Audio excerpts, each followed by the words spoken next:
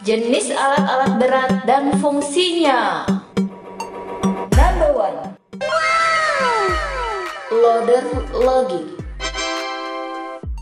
Alat berat ini merupakan alat berat yang digunakan untuk membongkar muat log di sektor kehutanan dan industri pabrik. Alat ini sangat membantu pengangkutan kayu yang sangat berat dan tidak mungkin diangkat oleh manusia.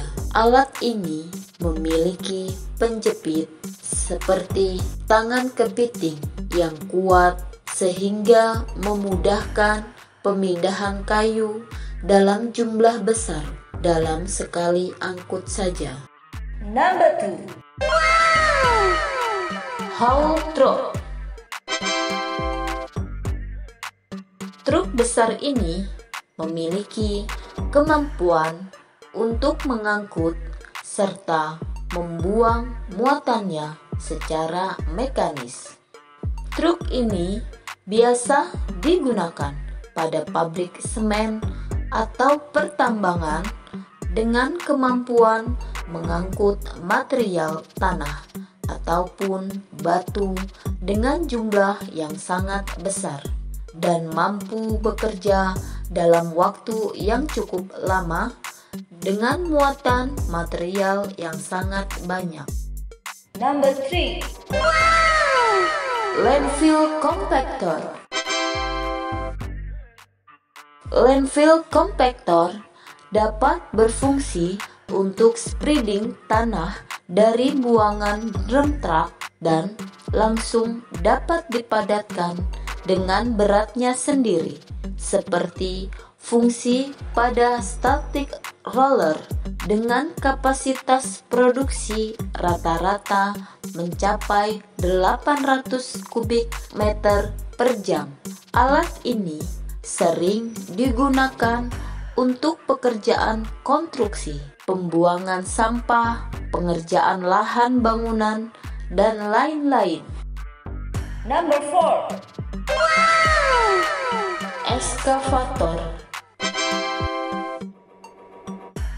Eskavator merupakan alat yang digunakan dalam proses ekskavasi.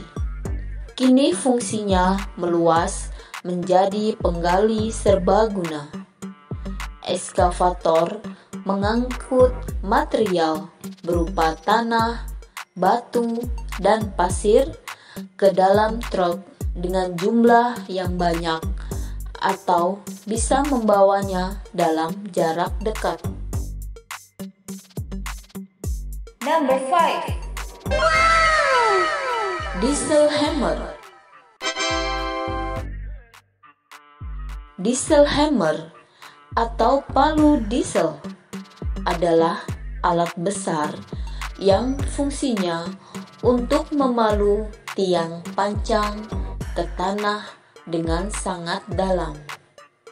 Tiang-tiang besar ini dipalu olehnya untuk keperluan membangun pondasi bangunan besar yang bertingkat seperti jembatan, dermaga, dan sebagainya. Memiliki mesin diesel dan berbahan bakar solar.